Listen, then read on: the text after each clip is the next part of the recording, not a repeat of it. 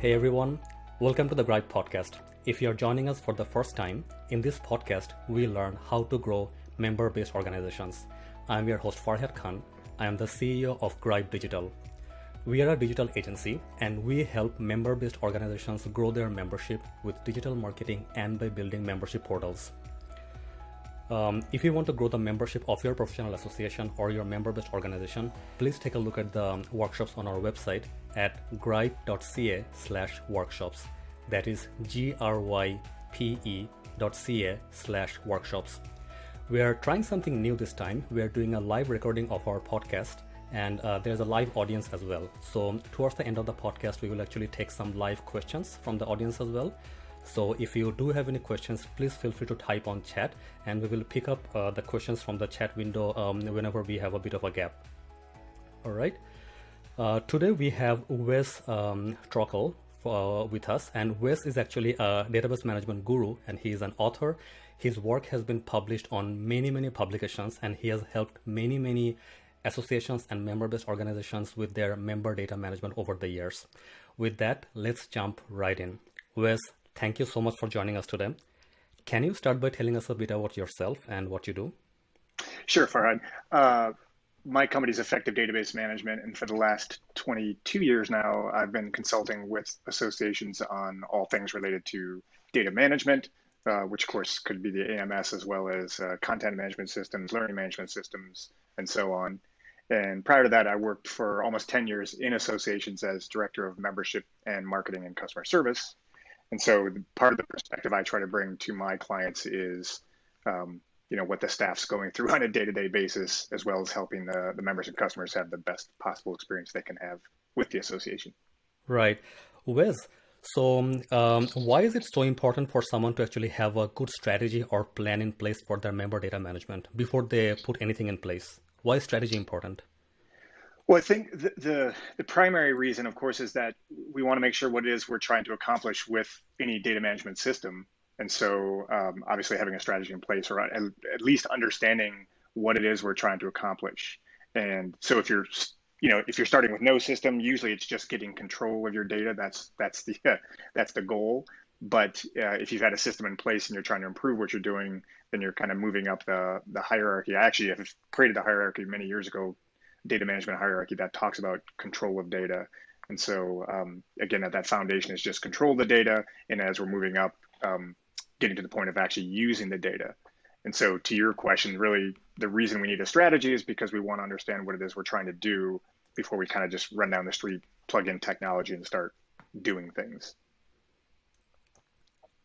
Right. So, what are common mistakes that you see people often make well, I think uh, there's a there's a whole bunch of them, um, but uh, I would say a, a, couple that rise to the top. One is trying to do too much too fast, and so uh, again, no matter kind of where you are in the spectrum in terms of how you're managing data, uh, there's a tendency to say we've got all these issues and all these challenges and all these problems, and we need to fix them all.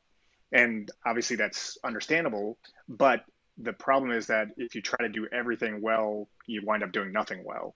And so my advice often to my clients is make sure a that you understand the list, what it is you're actually really trying to do, but then look at that list and prioritize. Really start with three, no more than five things that you want to really fix or improve, and focus on getting those done.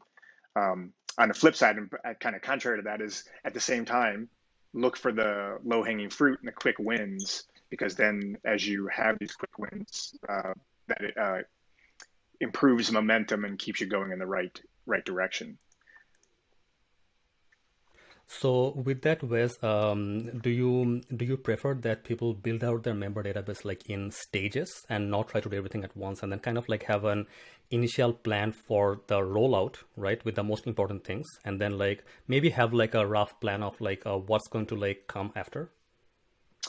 Yeah, absolutely. I think, you know, again, that goes to that point of don't try to do everything at once. I always joke with my clients that um, during an implementation, there's there's the stuff that has to be done at go live, which is phase one, and then everything else is phase later because later mm. is going to it's anything that's after go live and that might be phase two might be phase three might be phase four but it's going to come at a different time and so again that goes back to making sure you understand your priorities uh, what does the system actually have to be able to do upon flipping the switch.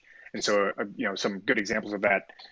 Um, we need to be able to let members join and renew online. If that's a must-have, that's a must-have, and so the system has to be able to do that when we go live. Um, on the flip side, it, and frankly, for a lot of my clients, being able to join may not be that important because most people don't join online for that particular association. And so having an online join process, not important. A renewal process, that's a different story because once they're members, we want to be able to be able to automate that and make it as easy as possible for them. So it's really looking at those, uh, again, the priorities, everything you want to be able to do and saying, okay, what is the stuff that we have to be able to do at Go Live? And being honest about what you really need to be able to do. Because if you've been getting by on spreadsheets and the phone the whole time, then the reality is you can continue to do that. You could continue to do that, um, assuming your association is not failing. But um, but so realistically, you don't have to have everything as soon as you go live. So prioritize. Right. And, and I, I, guess uh... I'm sorry, Farhad. I would just add one other thing is that it's really important to kind of, and this is across the board, but especially in terms of prior, prioritization, is to look at what your organization's mission is and make sure that what you're doing addresses that. In other words, if it's not mission critical or if it doesn't apply to the mission directly, then it probably isn't or probably shouldn't be a priority. Right. And oftentimes what happens is that like when you start with the most important things and you go live, eh, you are able to actually like test your ideas and test your like whole like member management system with with real users and then like that will actually inform you on a lot of other things that you may not have thought about before. So I think like yeah, that's by... that's that's a great point. And I, I, would I would add a couple of things too. One is um, uh, again my my rule of thumb is if you're switching systems, let's say you had a system in place, whether it's totally custom built or off the shelf, if you're switching systems, everything your members and customers could do before online, if they were using that, should be there at go live. In other words, if you take things away that they could do before, that could upset people.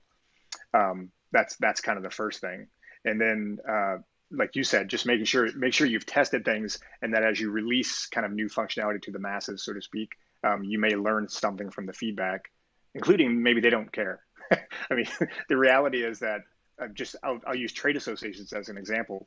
A lot of systems will allow a primary contact to go on and update their company membership and all the people, all the employees associated with it. But my experience, both as a trade association manager, membership manager, as well as through my clients, it doesn't happen that often. In other words, it's a small percentage of members who will actually take advantage of that functionality and so maybe it's not so critically important to build that out right away. Right. And you also mentioned that uh, you need to make sure that um, the CRM or the member database actually aligns with the company's business objectives. We need to know the company's mission. Uh, so, w- what are some things that uh, we should be doing to make sure that our CRM plan or the whole member database aligns with the business goals? Well, I think you know the key is understanding what your mission is and making sure. I was, in fact, I was having this conversation with a client earlier today, working on a, a data governance project, and we were pointing out that with a data governance um, uh, plan in place, with a document in place that says this is how we manage data and why we manage data, you can use that as a reference for whether or not we should do this new project. In other words, does the, again, does the project reflect what our mission is? And so, you know, a simple example, if our mission is really just to educate our members about uh, the issues at hand, then the, probably a lot of things fit into that. Um, if our mission's more um, motivated by government relations and things like that, again, whatever this program is that we're going to be doing or the functionality that we're offering, does that fit that mission? And so I think you know you just always have to go back to is what we're doing does is what we're doing apply does it apply to what we should be doing? Right right. And uh, do you see that like the data that we're collecting or data we are tracking with the member data management system like uh, should inform our marketing and sales efforts and beyond?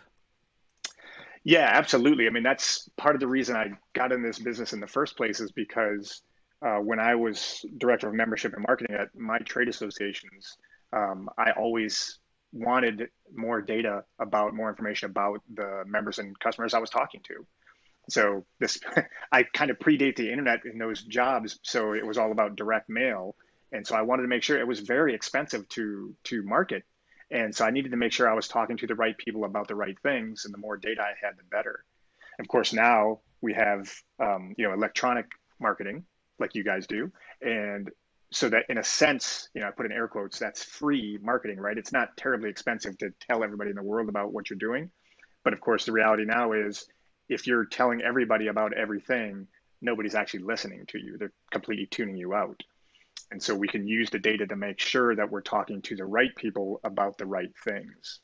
And um, you know, my my smart clients have been able to do this for a while now, where where they very rarely send a broadcast email to everybody in their database. They're always um, slicing and dicing. They're always narrowing down that target to make sure they're only talking to the people who should be hearing that message. Right. And do you have any thoughts on like how we should approach the audience segmentation? Well, yeah, I think I mean, you know, the, the first thing is making sure you know enough about your members and customers to actually segment them. And and and this is one of the things you know we were talking about um, kind of the risks of the thing what you should do and what you shouldn't do. One of the things that i'm constantly lecturing my clients about is don't collect data for the sake of collecting data or don't collect data just because you can.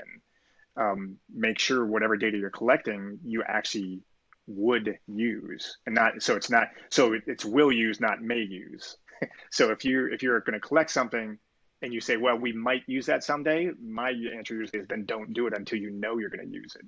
And so, Farhad, that's to your point of segmentation, which is a lot of times marketers will say, well, if I know X, Y, and Z, then I can chop up this list and really do things. And that's great if that's true. But we've got to make sure that uh, whatever data we're collecting, we would actually use in a segmentation case or use for some other marketing or communications effort. And then it's okay to collect that and then we have to be sure that we're continually collecting that data, keeping it clean.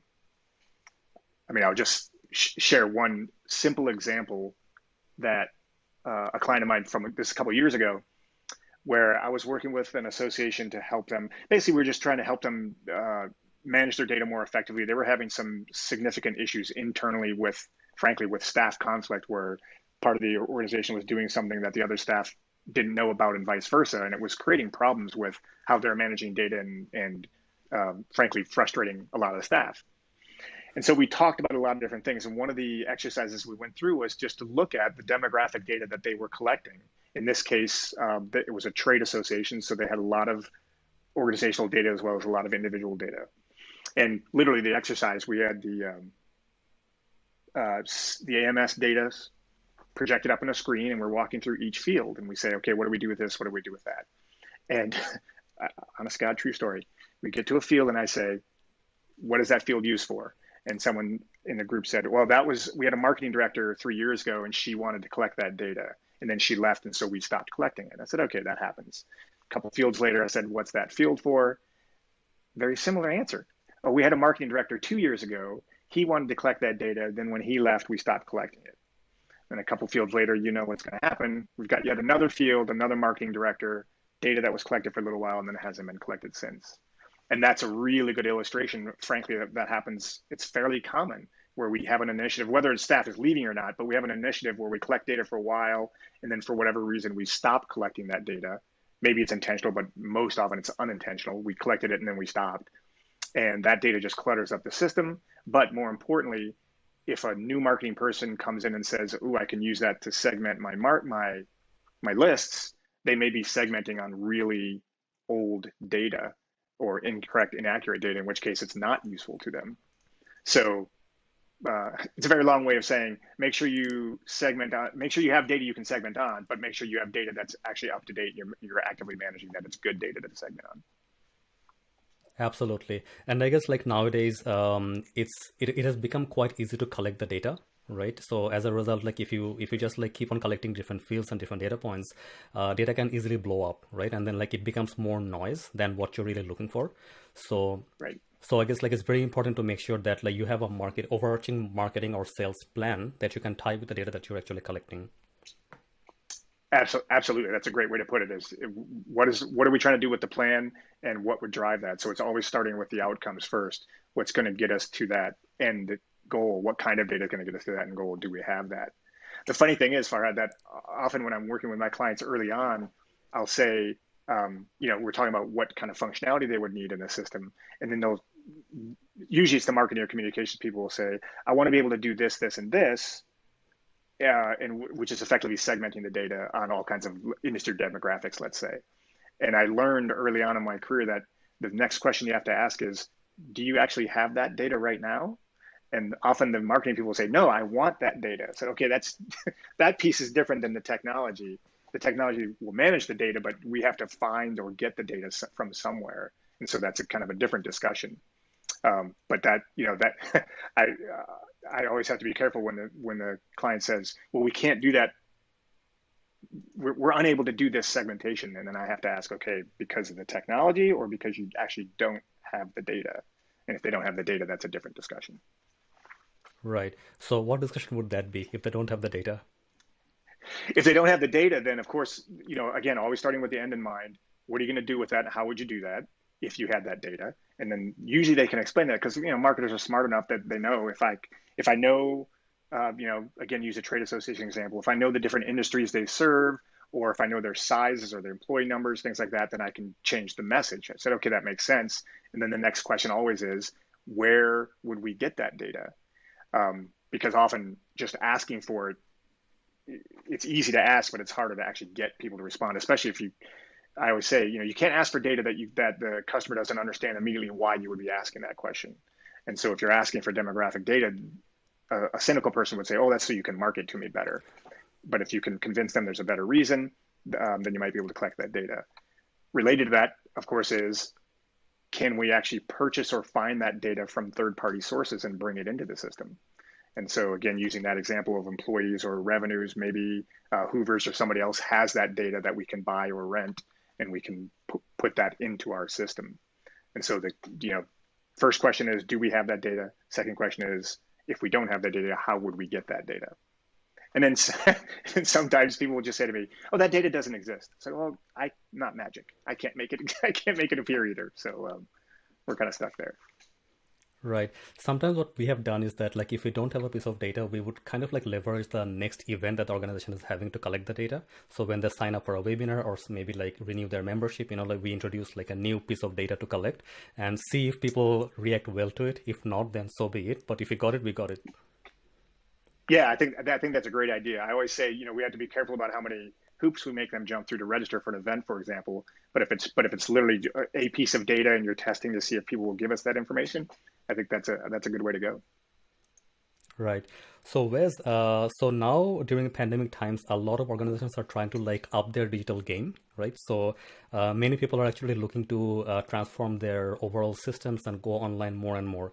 So if I'm looking to re-implement my CRM or my member data management system, like where should I start? I think the first place is um, uh, again, besides making sure we know what is we want to collect, is making sure that the data itself is as clean as we can get it. And and so I'll, I'll add some caveats there. The first is it can never be 100% clean, and that's a big mistake that I think uh, organizations often make is they think, well, if we try hard enough, we can get 100% accuracy in our data, and that's just simply not true. So we have to we have to recalibrate our expectations in terms of how accurate the data be, can be.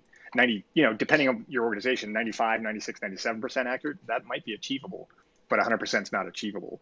And so uh, the first is, again, understanding what kind of data we need. And then second is cleaning that data up. Um, again, so that we have confidence in the data itself. Um, one of the things I talk about with my clients is the idea that there's no stasis in data management, meaning that either your data is getting better by virtue of what you're doing to keep it clean, or your data is getting worse by virtue of the fact that you're not doing enough to keep it clean. And so it's going in one direction or the other. It is not staying in the middle. That that just doesn't happen. And so what do we what can we do to keep the data cleaner? And there's a whole bunch of things we can do. Um, one of my favorites is what I call data integrity reports, which is just um, reports or queries that will allow us to see data that um, is potentially erroneous and update the, that as a result of that.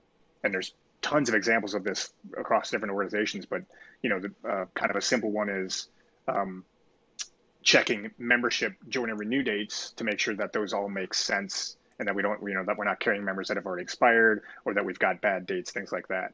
So it's just, it's kind of those little things. I call it weeding the garden because there's weeds all the time you've got to kind of constantly keep that clean. And you can use these data integrity reports to, um, to do that. Right. Uh, Wes, can you tell us a bit more about the reports, the type of reports that you would want to like see from your member management system? Uh, well, yeah. So I guess in terms of data integrity reports, it, you know, reports that will tell us where there's potentially bad data, and that's going to vary from organization to organization. Um, I think another another type of report that is useful for membership organizations is, of course, engagement reports. And so again, the beauty about all this is that there's kind of a core to all these ideas or concepts, but then uh, how each one how each organization executes it is going to be a little different. And so member member engagement is a really good example of that, where depending on your organization, um, you're going to look at engagement in a different way, or you're going to measure engagement in a different way. And so a trade association, again, just broadly speaking, trade association is going to look at what individuals related to those organizational members are doing. So they have to roll that information up to, you know, company X as Farhad and Wes and, and others as employees. So what are all of us doing as individuals roll that up to the organization and look at what the organization is doing. That's going to be how they measure member engagement. Whereas an individual membership organization obviously is going to do it at the individual level only, or I shouldn't say only, because it's possible that uh, if you're really advanced, you might have an individual membership organization where multiple individuals from the same organization will become members of your association, in which case you might want to measure it at both the individual and the organizational level. That's pretty advanced stuff, but it, it can be done.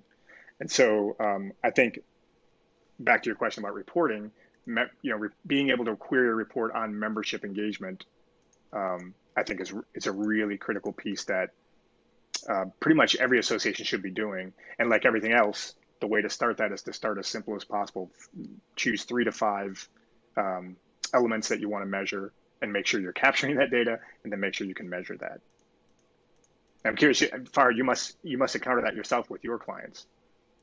Yeah, absolutely, absolutely. And I guess like uh, one of the most important things that uh, in terms of like member engagement, like what we have to like find out is like what does engagement mean for this organization, right? So oftentimes like an email open can be an engagement uh, and for certain clients an email open is not big enough because they have so many people opening emails right?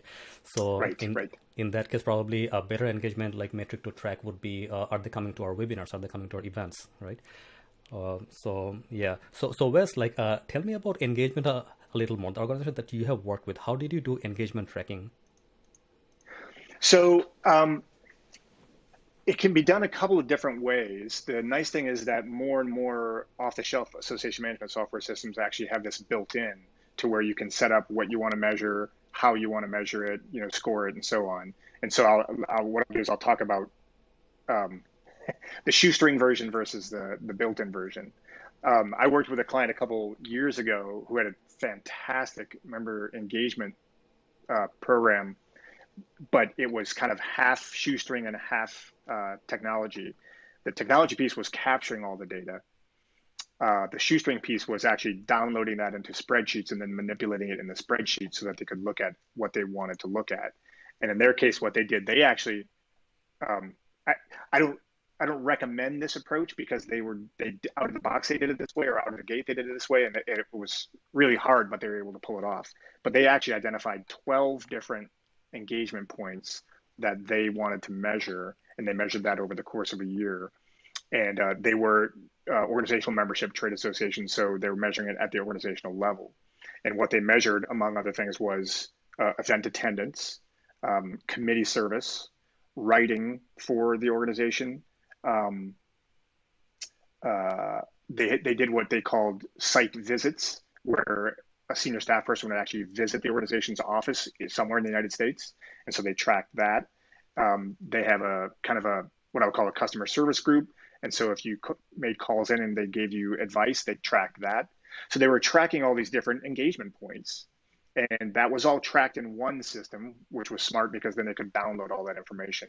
But they didn't have a built-in report per se, and so they had to download that into a spreadsheet and then manipulate it that way And so that's kind of a mix between the, it's a hybrid of the shoestring version versus the technology version. But the pure technology version, they, some AMSs now will let you say, okay, here's what I'm going to measure event registration, membership, could be the length of membership, um, could be the products that they're buying, D- did they make donations, things like that. Then allowing you to weight that, that certain things are worth more points than other things. And then if you're getting really fancy, you can age that stuff so that if I purchased something a year ago, that's actually worth, worth less than if I purchased something a month ago, and on and on and on. And then the system actually does that with the setup, does it automatically. And so when I look at that individual's record or that organizational's record, I can see right there what their engagement score is at the moment. And that's again, that's super advanced, but that's that's happening now. And uh, so that's a, again a way of really segmenting who's engaged, who isn't. But I do want to Farhad. I want to add one thing here because this is kind of a, uh, a soapbox of mine, and that is having been a membership director for three different trade associations over ten years. One thing I discovered was there are a lot of organizations who will be members of your organization, your association, who will never be engaged. And so this is especially true of trade associations, but it's certainly true of, of IMOs as well that I'll join to be a member to get the magazine or to get the other access, but I'm never going to come to an event. I'm never going to buy anything else from you, but I'll keep renewing. And um, so they are kind of actively disengaged, but they're not going to drop membership. They're going to keep renewing for any number of reasons. And I raise that point only to say that we have to acknowledge that because often marketers will spend a lot of time and money and effort trying to get those people to be more engaged. And it's kind of like, you know, with my kids, no matter how much I kick them, they're not going to mow the lawn. So eventually you just give up. You say, all right, I know you're going to exist. You're not going to mow the lawn.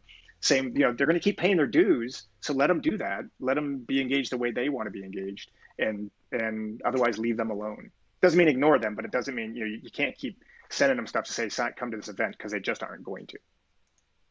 Right, right. So, where's how do we leave them alone in a case like this? What is a good approach?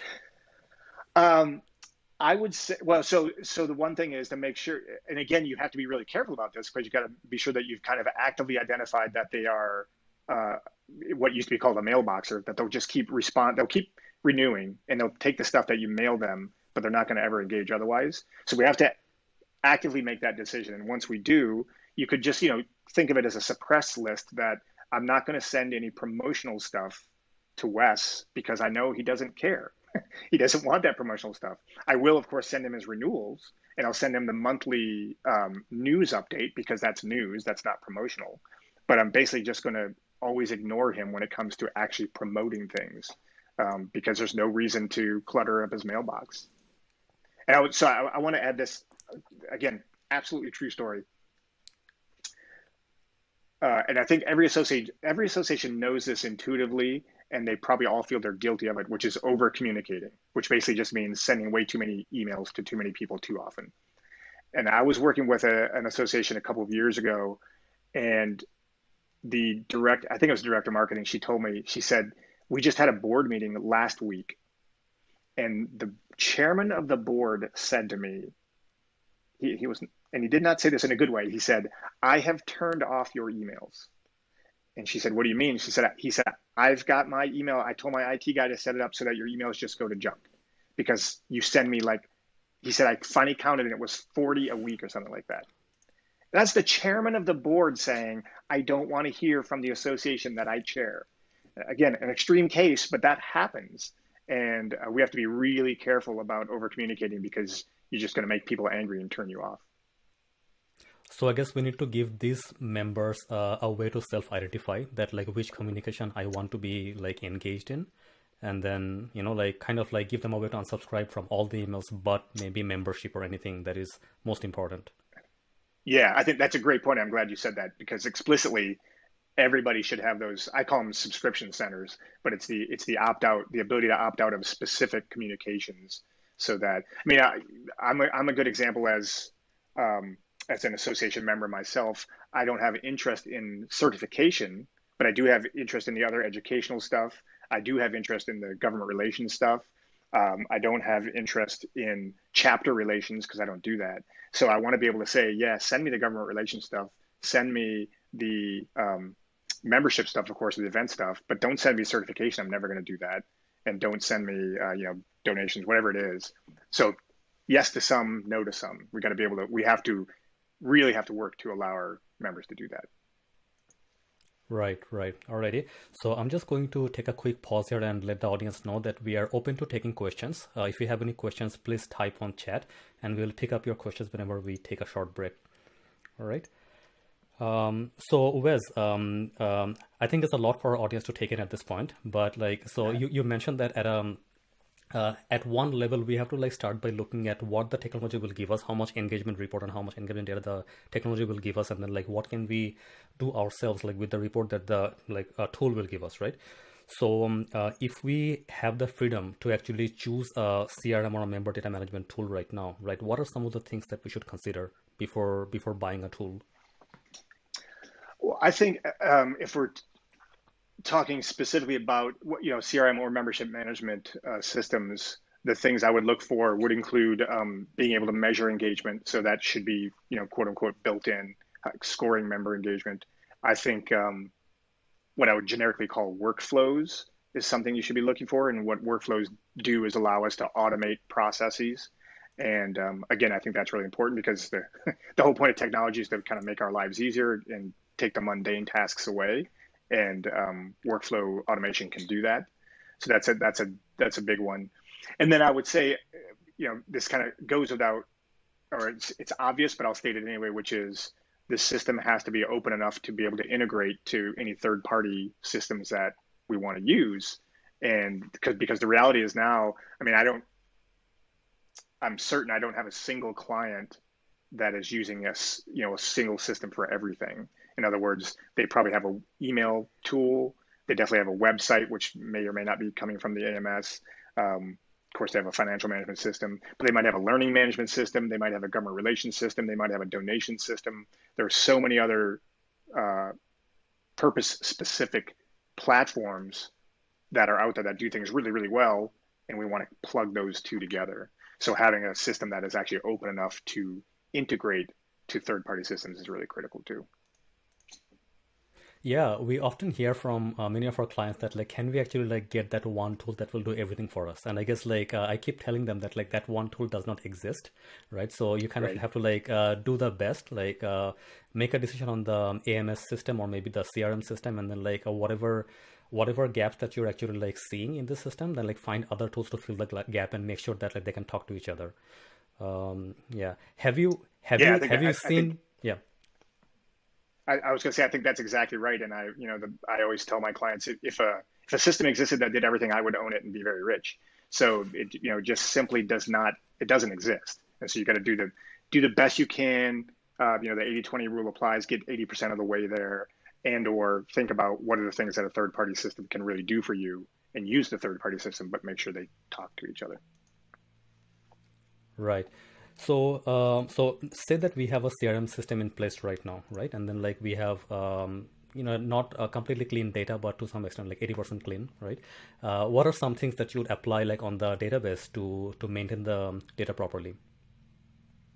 In, in, in terms of just trying to keep the data clean over time? Yeah. Or, or maybe like other like uh, data management practices. Like what would you yeah. do? What are your best practices? I, I think, um, you know, a big one is, as I mentioned, those data integrity reports. That so the I guess take a step back instead of just thinking about process, but thinking about philosophy, which is philosophically again understanding that either the data is getting better or it's getting worse, and in order for it to be better, we have to actively manage. And so actively manage means that we have processes in place that allow us to manage the data. And so you know there are quote unquote simple things like um, duplicate detection, either reports or some systems actually have that built in. So it, uh, it identifies if you might be actually entering a, a duplicate record. Um, duplicate, I mean, everyone, I'm sure you hear it too. Every one of my clients, they talk about the fact that they've got duplicate records. And that's one of those realities, again, why we can't have 100% clean data because there's no such thing as 100% clean. If you have even one duplicate, you're not 100% clean. And every one of my clients has duplicate records because people duplicate their own or staff does it. It happens. So having a having a system that either helps you identify that or having a report that will help you identify those that's that's one way to do that. um, uh, you know, making sure that we're not making sure that we're not actually creating rules that will make data collection more difficult. And so I talk about you know the idea that you don't want to create rules that are all around the exception. Let staff manage that stuff and automate everything else. Um, again, you know, so a lot of this is about expectations and just you know managing that expectation of again, it's not going to be perfect, but we want to catch, we want to take care of the 80% as automatic as possible, and then the humans get to deal with the last 20%. And frankly, it's that last 20% that um, kind of drives everybody crazy uh, and gets people, you know, really excited or, or angry. Right, right. So, um, uh, Wes, you mentioned automation a few times here, right? So, uh, which which areas do you think are most important to automate? So, I think, um, and again, this it'll depend on the type of organization, the type of association, but um, automating the membership join and renewal process, especially the renewal process, automating that as much as possible makes a lot of sense for a small for a trade association that has a small list of members that might not make sense. But you know i've had clients who have tens if not hundreds of thousands of members. And if you're talking about hundreds, hundreds of thousands of members then obviously you want to have something that's going to automate that as much as humanly possible. Um, and so anything anything that is what i would call a mundane transaction. So obviously automating uh, if someone registers for an event automating all the communications that go out after that um, that that kind of thing should be automated. Um, and then you know again any any other transactions anytime they're spending money with us or they're talking to us via the website there should be some kind of um, automation that communicates back with them and all of that and, and, then you know one one thing that i'm starting to see with associations is uh, the idea of a chat bot on the website which can can provide a lot of automated information as well and so um, those common, you know, the questions that you commonly get, the FAQs, we used to call them in the good old days, the frequently asked questions, that can be automated at the website level where they just in the chat bot say, how do I renew my membership? And the system tells tells them that to the point of being smart enough to say, I want to renew. And then the, the system says, tell me who you are and I'll take you to your renewal page and let you do it right there. Right, right. Okay. So, uh, Wes, we'll take one question from the audience. So, Barbara is asking uh, Do the data integrity reports uncover or identify the nasty spreadsheets that people keep using as workarounds? And then, um, how do we get people to feed the data into the platform directly? So th- that's two different two different questions. The first one is what I call um, shadow systems or shadow databases. So even spreadsheets, but other systems where people are managing data outside of the primary system and sometimes there's actually a really good reason for it and we just want to be able to identify it and then figure out how we can integrate that information. So, so sometimes a good reason being the AMS can't actually manage that data or it doesn't need to manage all that data. So um, not a great example, but you know, um, exhibit sales. It may not be managed in the AMS or or prospecting for exhibit sales, things like that. So we have a separate system to allow that, but then we want to bring some of that data back into the primary system. So I think um, I think uh, so, Barbara. I think the you know the answer is the data integrity reports don't necessarily identify that. That happens more often when there's just conversations in the hallway. Back when we had hallways, um, where we uh, we discover, oh, they're managing data in a spreadsheet. Why can't we manage that in the AMS? So we do have to. We always have to be looking for that. And then there, uh, the second question was um, feeding data into the platform so the reports are accurate. That actually is often where these uh, shadow databases are discovered because someone, whether it's the marketing director, communications director, or even the executive director, will say, Tell me everything about person X or, or company X. And then we start to realize, oh, I can tell you that, but it comes from seven different places. And then that's my cue to say, okay, why is it in seven different places? Well, let's talk about that. Is there a way to, again, either to integrate or to bring that data in? And um, I mean, I worked working with a client right now we're talking about a huge amount of data here, and they have, um, in their case, besides AMS, they have two other significant systems that relate to journal publishing. And so those data, those systems are integrated to an extent, but not completely. So when the director of publications pulls information, she has this tremendous report she puts together once a month, but she still is pulling it from three systems and she has to massage data after the fact. And so we would like to to the extent possible, shortcut that or automate that. And so that will require some deeper integrations. But that I bring that up just because when we look at that report, then we go, you know, if we're asking the question, where did that data come from? That's when we discover, oh, it's there's all kinds of tentacles into that report. How can we integrate those better? And, and again, I want to I want to I want to re-emphasize something right now since I brought up since I said all this. Sometimes integration doesn't make sense from a purely dollars perspective. And again, a, a simple example is I have plenty of clients who um, sell exhibit space, but the reality is they only sell about 15 spaces and they're only prospecting to about 50 companies. You know, so we're under 100 contacts total. And so, yes, we could integrate that into the system or we could build it into the AMS or whatever. But the reality is, it is much easier and much more sensible from a dollars perspective just to do that in the spreadsheet and then bring those pieces in. All of that is a long way of saying sometimes you just can't automate it all because dollars wise it doesn't make sense to. I think that's a very good point, Wes. That's a very good point that it has to there has to be a good return on investment. People think that we should do it just for the sake of doing it, but like unless yeah. uh, if you're spending ten thousand dollars on any digital project, you have to like uh, know that you're making at least that ten thousand dollars and more back. If not, then maybe there's not much value in doing that. Right. That's exactly right. I would always say I'm the laziest person in the world. One of the reasons I love technology is because it'll do all the work for me. And I love automating things, but sometimes you just go, I don't think that makes a lot of sense to you know spend 10 hours automating something that takes me 10 minutes a month to do. Just doesn't make sense. But it's yeah. hard. It's really hard.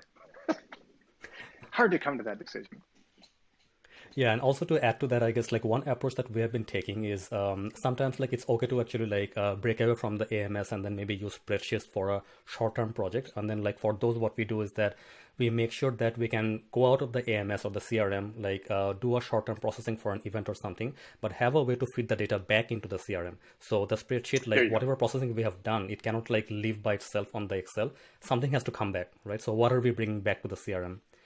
And uh, also on top of that, like another thing that we see is that like if you're breaking away from the CRM and then you're using Excel, and if that is happening too many times too often, that like you're spending a lot of time doing that, then maybe it's a good candidate for automation at that point. Yep, I think I totally agree with both those points. If you're doing stuff outside the system and you're actually changing data outside the system, be sure you consider what needs to be brought back into the primary system. And then, like you said, if you re- if you start looking, you're like, I do this ten times a ten times a month every month that's probably an opportunity for uh, automation. Right, right. Okay. So, uh, Wes, uh, who should have access to the CRM or the AMS system? Who in the organization? So, I, uh, the way I look at it is, um, I always say I'm a big liberal when it comes to access, meaning that everybody who wants it should have access. And so the real question becomes not who should have access, but at what level or how much access should they have. And mm-hmm. so, you know, a lot, a lot of people are honest and say, look, I don't actually need much data out of there, or I don't need it very often, or I don't want to be responsible for breaking something. So I don't go in there because I'm afraid I might do something wrong. And so we want to make sure that we give those those people read only access and, and to tell them, look, you can go in and look to your heart's content. You can't actually do anything to this to break it. So don't be afraid and go in there and run these reports and do whatever it is you need to do. So um, again, it's give everybody access who wants it and consider what type of access they have. Uh, it, very often, executive directors say to me, "Look, I just want to run reports. I'm never gonna. I'll look people up. I'll look up companies. I'm never gonna change data. I'm never gonna, you know, do a transaction." And that's fine. So you give them read-only access and teach them how to look stuff up and find the reports that they need. And then it just it kind of elevates from there to where that next level of person who might need to be able to change data or who might be able to you know query data and, and um, pull stuff for broadcast email or whatever it is. And then you know you just keep going from there. And my advice always is give people as little access as possible and add as you need to as opposed to giving them all access and then taking stuff away. Because if you take stuff away they get mad even if they weren't using it Right, right. And I guess like I subscribe to your like liberal philosophy on this as well, that like give people access at the beginning, but maybe read only, but give them some level of access. Uh, mainly because what we find is that like when people see the data, you know, like they they can we can co-create with the whole team. You know, like when our team members see that okay, oh, you know what, we have these three four data points, maybe we could do this with this, right? So unless we show them that data, they will never be able to like uh, help us with like new ideas. I, that's a great point. Uh, you know, it's in one sense, it's the more cooks in the kitchen, the better, because everyone's seeing that data and they can contribute where where it makes sense. But again, con- controlling that to say you, you give me out your ideas, I'm not going to let you break it. yeah, absolutely. Absolutely. All right. I'm going to like turn back to the audience one more time to see if anyone has any questions. Uh, if anyone in the audience has any questions, please feel free to type on chat and we will pick up your question from there. All right. Um, Wes, so we are towards the end of the episode, but uh, do you have any like last words for associations or member-based organizations? Yeah, I think uh, again, just re-emphasizing a couple of things. One is um, to just be very careful about expectations. Um, you know, this idea. I tell this story all the time because uh, a long time ago, when I very first started working in associations, I, uh, I worked for a trade association and we produced a printed directory. It was called a blue book because it was a buyer's guide. What it actually listed was companies who made very large scale manufacturing equipment. And um, it literally was the Bible of that industry. It was used around the world, and we printed it up. You know, spent a ton of money on this every couple of years to produce it and mail it around the world.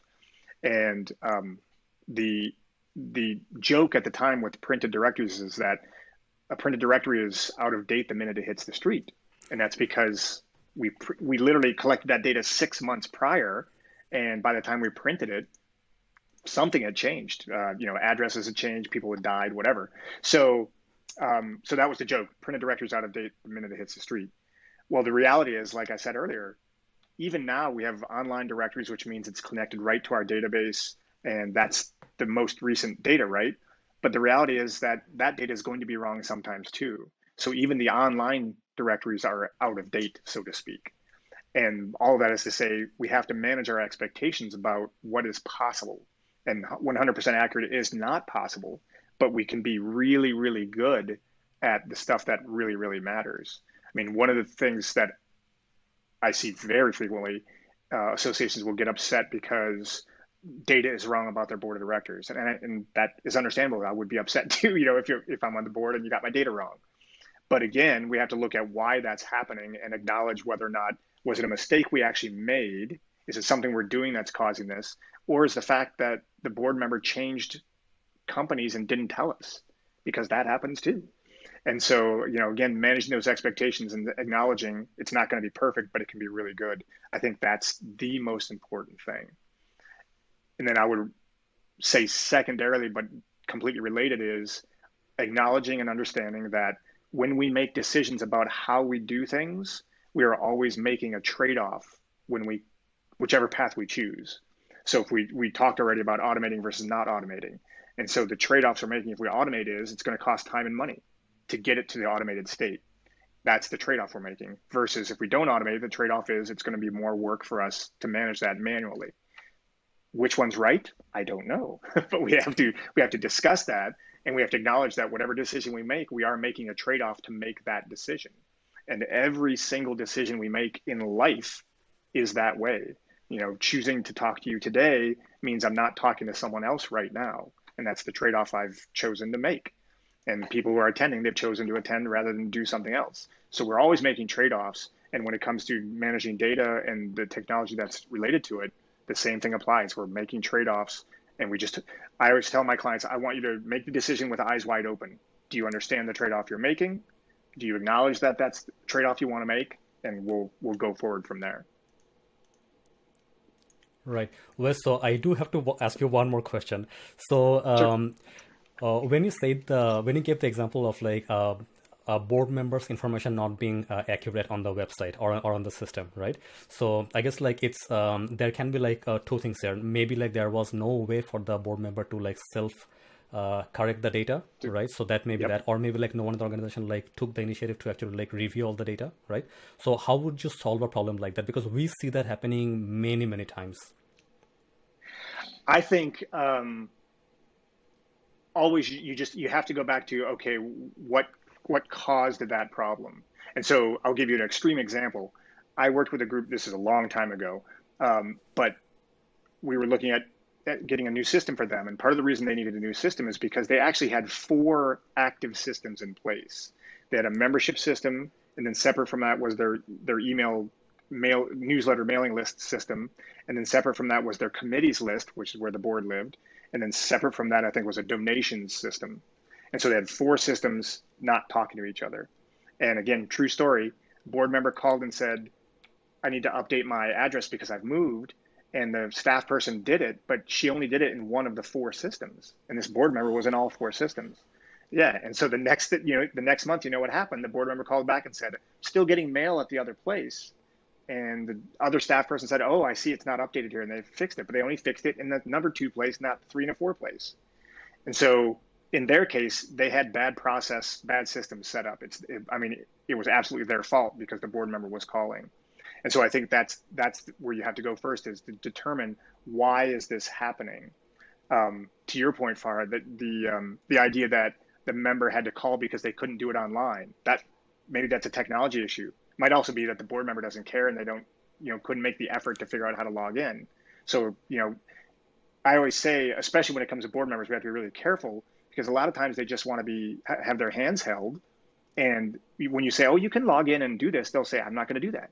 Well, there's nothing I can do about that. If you're going to be obstinate, you're going to be obstinate, and we're just going to have to hold your hand. So, um, so we had, we just have to be really careful about what is actually causing the problem, and um, and so you know, it, as I always say, get to the root cause, understand what caused it in the first place, then we can address that. But just just virtue of a staff or a, a board member complaining about something, it's not enough information. Right, right. So uh, we'll take another question from Kevin. Uh, what is the number one ex uh, expectation that you hear these days that has to be managed? Very good one. Yes, I think I, I think honestly, I, I think the number one expectation is that this is especially true as we're looking at new systems, um, that the new system will fix everything. That's the expectation is we've talked about it. Now you're going to fix that, right? And this again gets back to trade-offs and ROI is um, I have to kind of lecture my clients all the way through. Understand this system can do that. In fact, I had this conversation this morning with a, with a client.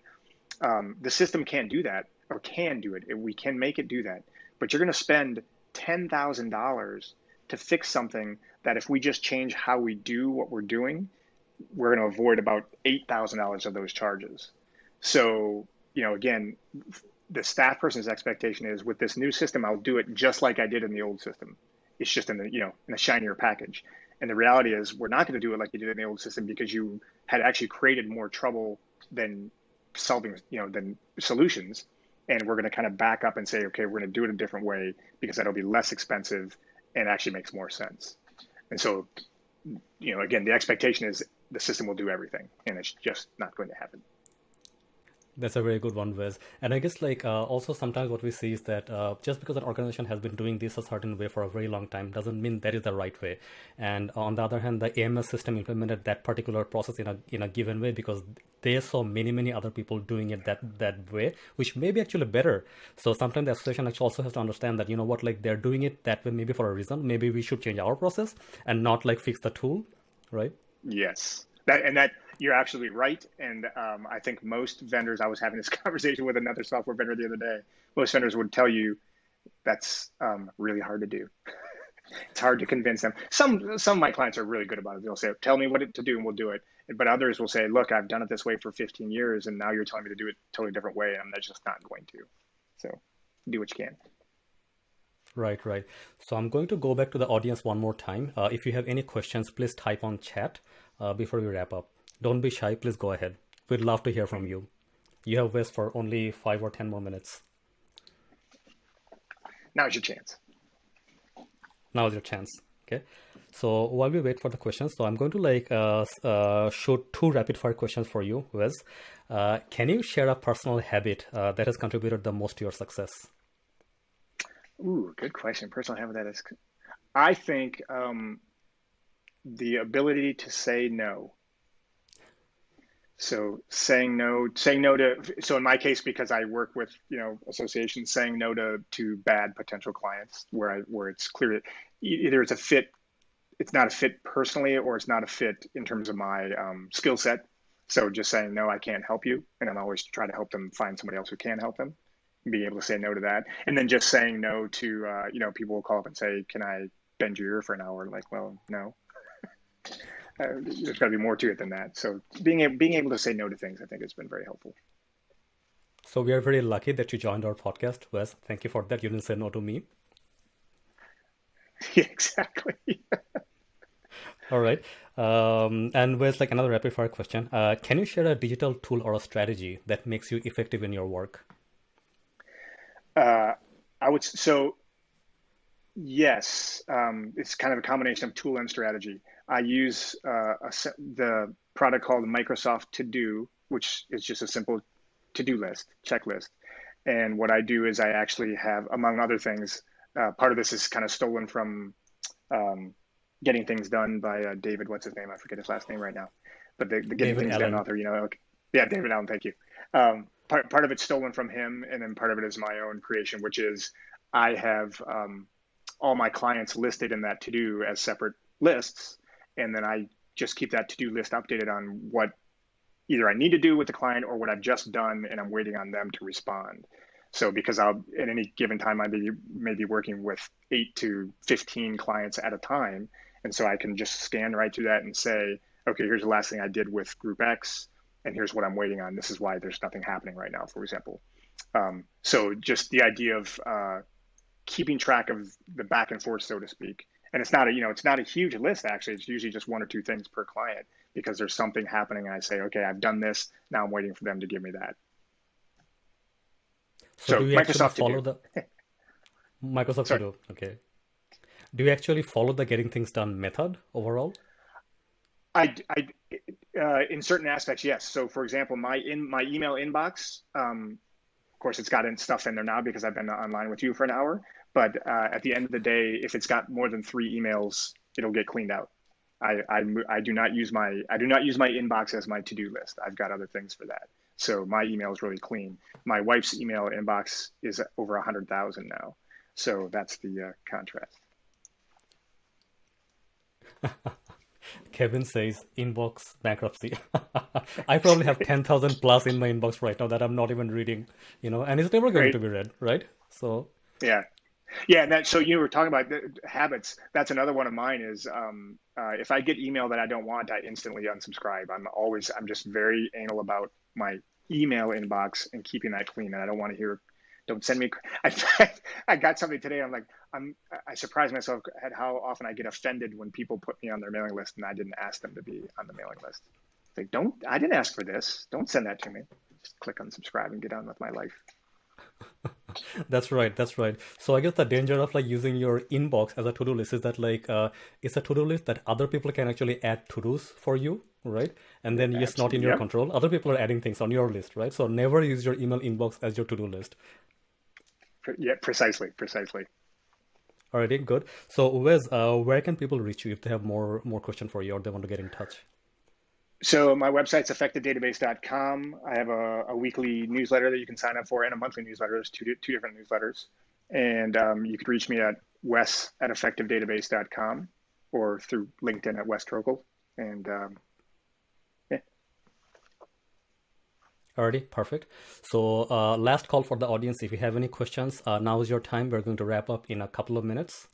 So we'll leave the line open for a few more minutes if you have any questions. And looks like overall the um, live podcast didn't go that bad uh, nothing blew up the connection was fine you know so so we are glad that it actually worked out we will probably do more live podcasts in the future good i enjoyed it Farhad it was great Thank you so much. All right, Wes, uh, I guess we don't have any other questions, so we're going to wrap up at this point. So thank you so much for everyone joining us in the live podcast. And Wes, uh, thanks a lot to you as well for taking some time to speak to us in your busy, very busy schedule. Absolutely. Enjoyed it. Thanks. Alrighty. Thanks, everyone. We'll speak to you on another episode. Bye for now. That was the podcast episode for today. If you have any questions for our guests, please reach out to them directly, or you can also send us a message on our website at grype.ca and we will pass on the message for you. And once again, if you want to grow the membership of your professional association, please take a look at the workshops on our website at grype.ca slash workshops. That is G-R-Y-P-E dot C-A slash workshops. Alright then, I'll see you on the next episode. Bye for now.